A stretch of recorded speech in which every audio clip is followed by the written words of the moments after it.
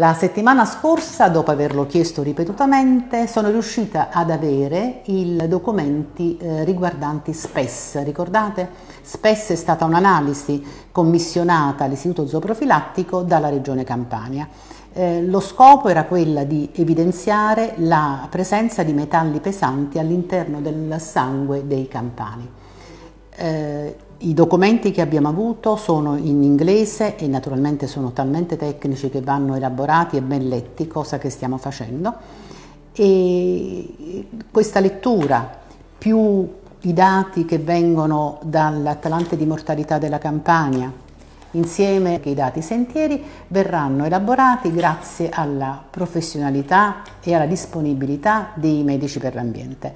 Tra qualche giorno, diciamo tra qualche settimana, avremo la possibilità di capire realmente com'è lo stato di salute dei eh, campani, e onde evitare che si, ogni volta si, chieda, si chiedano nuovi dati e si chiedano nuove analisi senza mai analizzare i precedenti. Sembra quasi che per non affrontare il problema si chieda sempre e si presenti la necessità di avere nuovi dati.